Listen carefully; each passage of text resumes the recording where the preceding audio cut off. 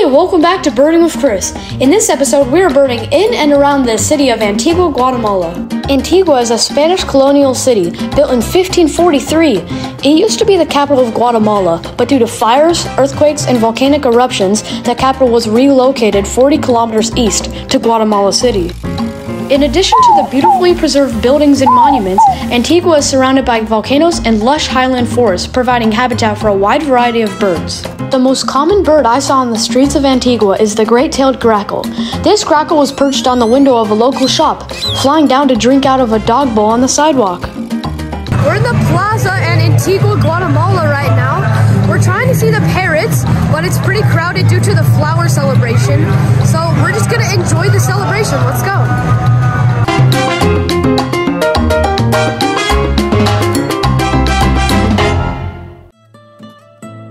So the town of Antigua is an interesting place because there's not very many street trees, except of the plaza in the middle, which mainly has rock pigeons and there's a big festival going on.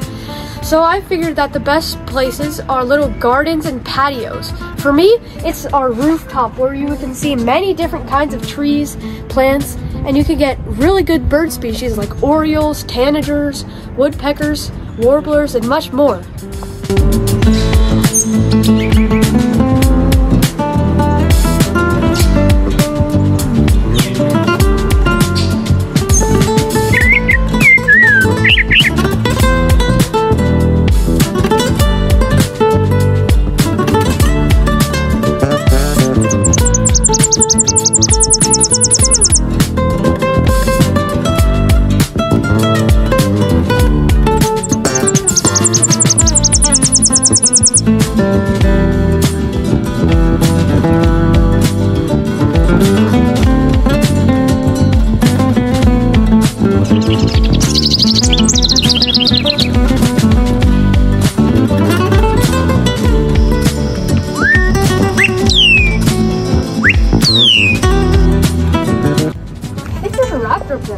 Hold on, let me get a good picture. I think it's a merlin. I think it's a merlin. This is this is the first raptor from our rooftop. Nice.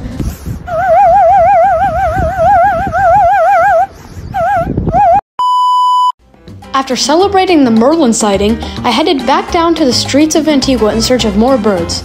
It's such a fun place to walk around. I got my first unexpected sightings of reptiles, these baby turtles being sold on the corner. I also experienced the beautiful bird murals and artwork around the downtown plaza.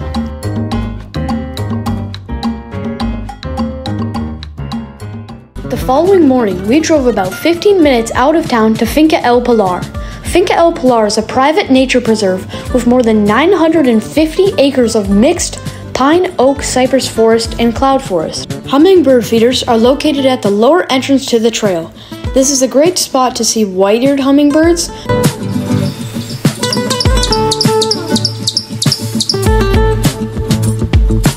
Rivoli's hummingbirds,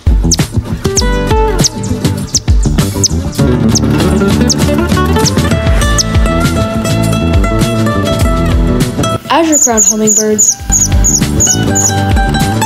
berylline hummingbirds, plus other regional endemic hummingbird species. We drove up the road to the top of the mountain and got incredible views of two volcanoes, including volcanic activity from Fuego. While enjoying the views of the volcanoes, we heard the call of the northern pygmy owl, so we headed into the jungle. The Guatemalan pygmy owl is a subspecies of the northern pygmy owl that is found in Mexico, Guatemala, and Honduras. The Guatemalan pygmy owl's taxonomy is unsettled.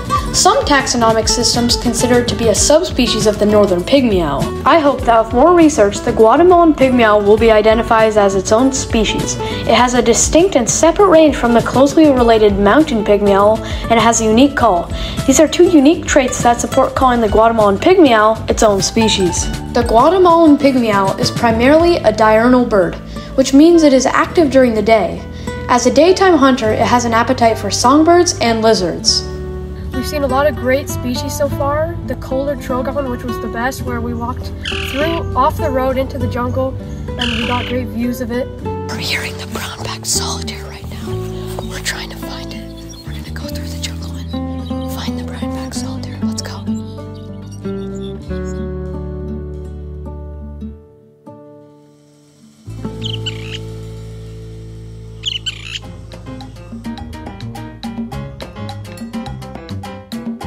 Thank you so much for watching this episode of Birding with Chris. If you want to see more Guatemalan content, like and subscribe and check out Birding in Guatemala City, Birding in Tikal, and Pursuit of the Pink-Headed Warbler. Happy birding!